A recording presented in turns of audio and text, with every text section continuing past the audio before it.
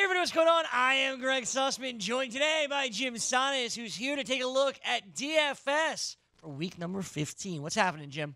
I am all good, Gregg. There are a couple of games on this slate for week 15 that look pretty enticing, and we can stack up both sides of them. That's the way I want to play DFS in tournaments, so I am pretty pumped about that. How are you doing today? Outside of desperately needing a haircut, feeling good, man. I'm excited to get into week 15, excited to make some money, excited to do it with you, Jim. I used to understand the need for a haircut, and for some reason, I no longer have that need. I can't quite put my finger on why, but for some reason, I don't have that need. But I, old Jim, understands your struggle right now, and I am with you here to help you through that struggle. Winning money will get me through the struggle, so I appreciate it, and that's what you're here for. So let's begin in Kansas City, where Patrick Mahomes, Tyreek Hill, and the bunch defeated the New England Patriots this past Sunday. This week, the matchup gets a bit easier. Division rival Denver Broncos. You start off our stacks this week pairing up the quarterback despite battling a hand injury with Tyreek Hill. How come? Yeah, I think watching that game for Patrick Mahomes, there was still a lot of zip on his passes after that hand injury. He didn't play that well, but you know, against the Pats defense in Foxborough, you don't really expect a whole lot out of them. So I'm personally willing to overlook it. Andy Reid says it's good to go. So I'm willing to go back to the Chiefs here. And I think that interestingly enough, the play of Drew Lock makes the Chiefs more appealing here because Lock has been competent, and that's going to be tough this week going on the road to face the Chiefs. But if he can score some points, that's going to force the Chiefs to keep their foot on the pedal, which is good for Patrick Mahomes and also good for Tyreek Hill. So Drew Lock playing well is actually beneficial for this passing offense here. And when I'm going at this passing offense, to me, it's just a time where we're waiting for Tyreek Hill to have a freak out game, which could happen this weekend because his market shares recently have been nuts. They have had only three games so far this year in which all of Sammy Watkins, Tyreek Hill, Travis Kelce, and Patrick Mahomes have been healthy. But in those three games, Tyreek Hill has 30% of the team's targets. He has 12 of 22 deep targets.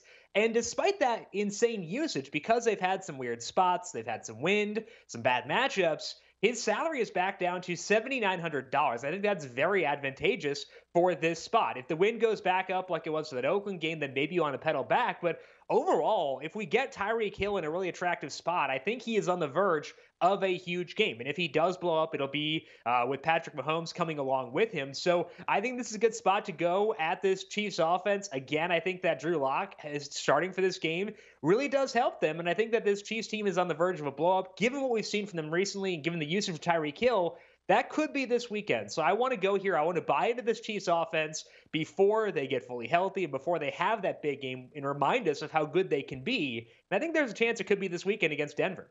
As a season-long fantasy owner of Tyreek Hill, I'm with you, man. Let's get that. Let's get them back on schedule here. More touchdowns for Tyreek Hill, more yards as well against Denver. A fine spot for the two of them to go off. As you said, Patrick Mahomes looks fine, looked all right. The zip was still there, and hopefully it will be there. Obviously on Sunday, specifically to Tyreek Hill.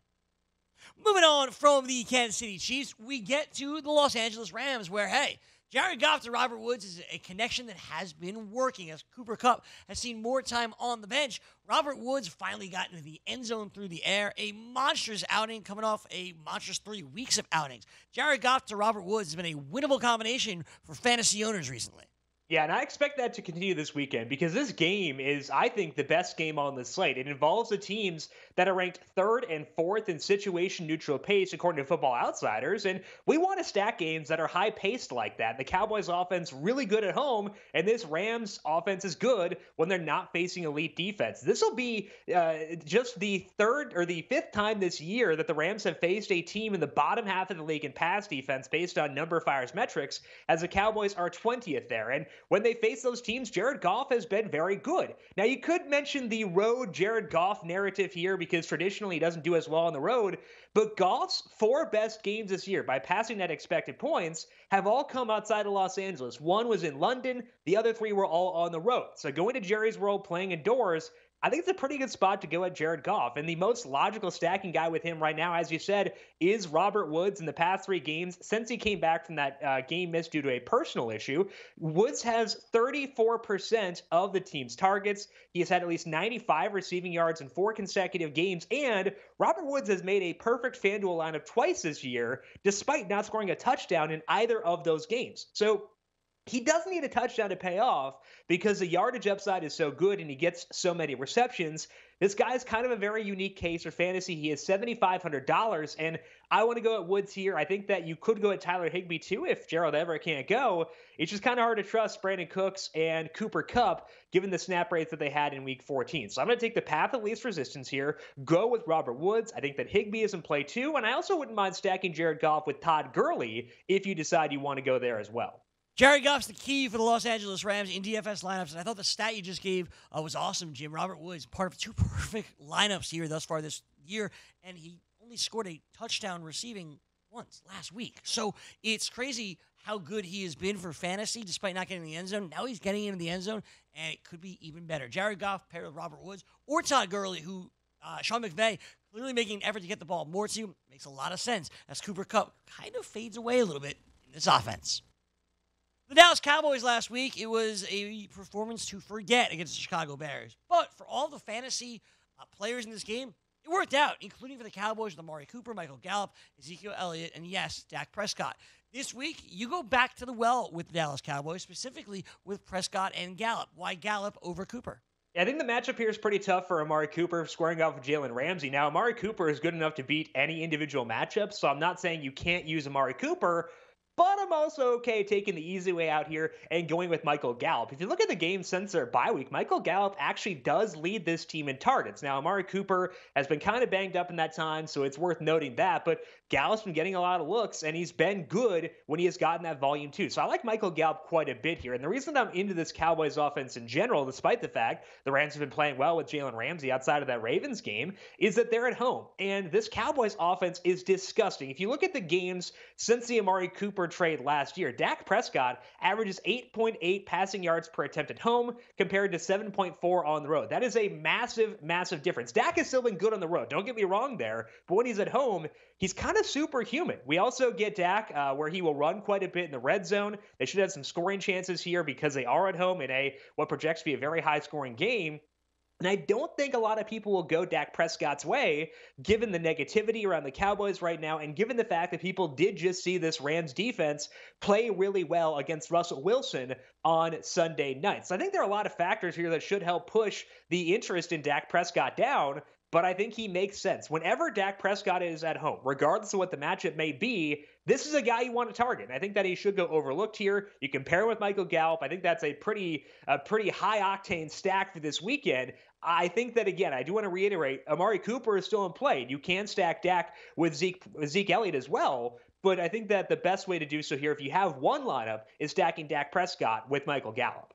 Certainly an option here against the Rams for uh, Michael Gallup and Dak Prescott. We'll see if they could uh, be the high scoring team that we've seen in the past, or they struggle, as we've also seen, right? An inability to really score in that first half outside of Ezekiel Elliott, outside of that first scripted drive.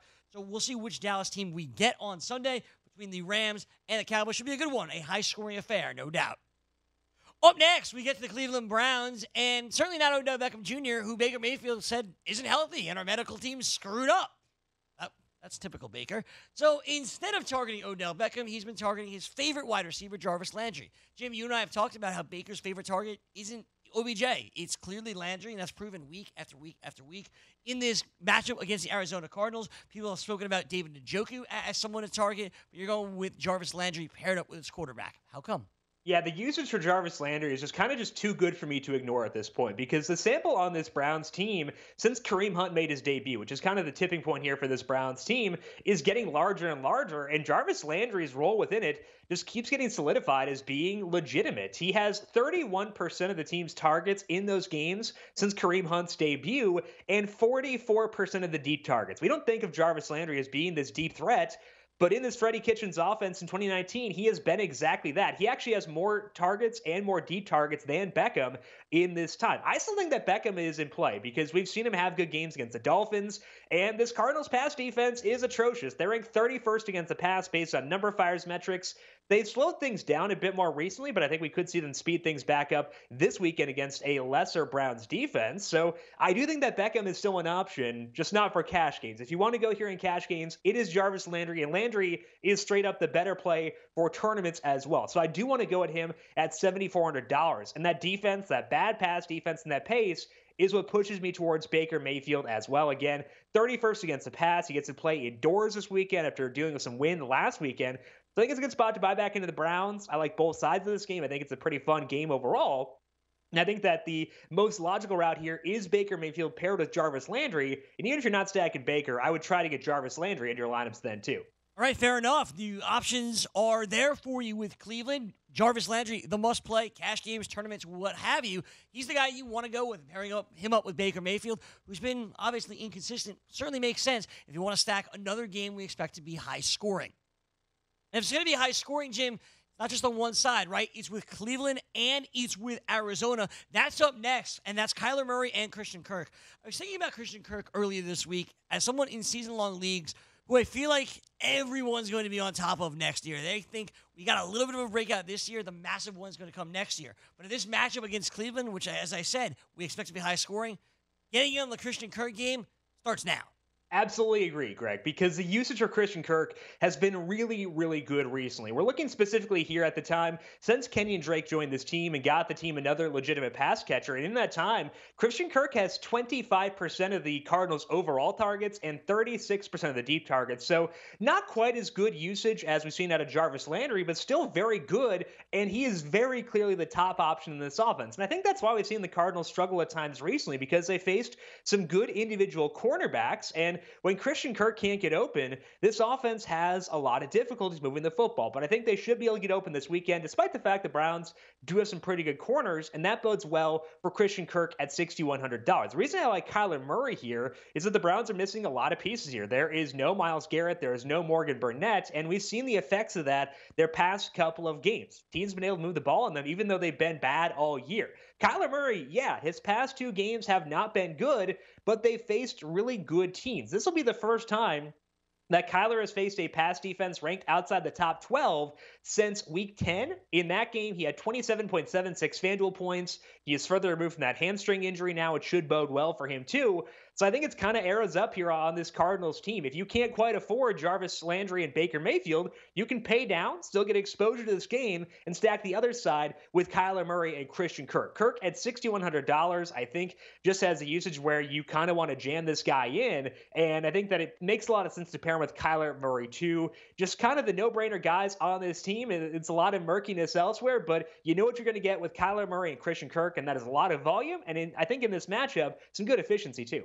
A lot of volume with efficiency. It's a combination that we want. The usage for Christian Kirk has been uh, outrageous recently. I know Kyler Murray has struggled, but this week against Cleveland, it could be a get right spot. It's a stack that I don't expect many people to go with, but it's a good stack here with Arizona as fast paced as they are. Give me Christian Kirk, give me Kyler Murray in a surprise stack in tournaments.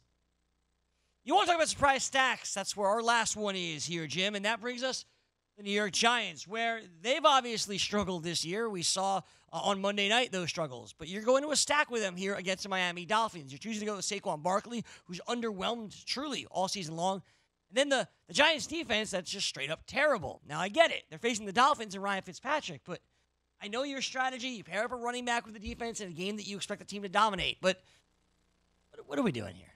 I mean, if you don't want to use them, I will. That's totally fine by right me ahead. because they're thirty. they're thirty nine hundred dollars, Gregg, at home facing the Dolphins. The Dolphins may not have DeVante Parker for this game. I think that you can use them no matter what. But if DeVante Parker can't go, this this Giants defense becomes even more attractive because the the Dolphins offense, you know, they've been better recently, but they're still a team we can target because Ryan Fitzpatrick, prone to blowups, not the uh, not, the most conservative quarterback by any means, which we will certainly take from a defensive perspective. And I think that sets up well for Saquon Barkley too, because even though the output has not been there, the volume has been. He has averaged 17.7 carries per game since their bye week, along with 4.7 targets. He just hasn't been efficient but you can expect better efficiency against this Dolphins defense. They are ranked 32nd against the pass and 25th against the rush based on number of fires metrics. And we're getting a guy with good usage at home in a great matchup for $8,300. I think that bodes really well for Saquon Barkley this weekend. And I don't I think people will go here. I think that they will overlook the box score and go to Saquon because of the matchup but I don't care all that much when I'm getting a high usage back at home in a spot like this. And I think pairing him with the Giants defense at $3,900 makes a lot of sense. Yeah, they are bad, but so is the Dolphins offense, especially if they don't have their playmaker DeVante Parker out there. So I will go with the stack. Gregg, I understand if you are not convinced. That is totally okay, but hey, it's just lower ownership for me. Good for you, man. Get the low ownership, but I am not jumping in on this giant stack. Maybe I'm a homer, and that's fine. But I know how bad this defense is. I don't care if DeVante Parker's not there. You got Albert Wilson, you got Isaiah Ford, and you got Allen Hurns. That's enough for me to not pick the Giants. And Mike Gesicki, too. I'm good on this stack. It's all yours, Jim. But when you win a million, just just split it with your buddy. That's gonna do it for us here on the FanDuel Hurry Up, Jim. It's been a blast. Let's do it again tomorrow. Absolutely, and I promise there will be no talk of the Giants' defense there. So uh, maybe on the other side, maybe we'll talk about the Dolphins there instead. You can you can bash the Giants' defense then. But I appreciate it, Gregg, and we'll talk to you then. Oh, I'm excited to talk about the Dolphins, Ryan Fitzpatrick, Patrick Laird, and the rest of this Dolphins crew. So for Jim Sannes, I am Gregg Sussman. Thank you so much for checking out the FanDuel Hurry Up. We'll see you back here tomorrow.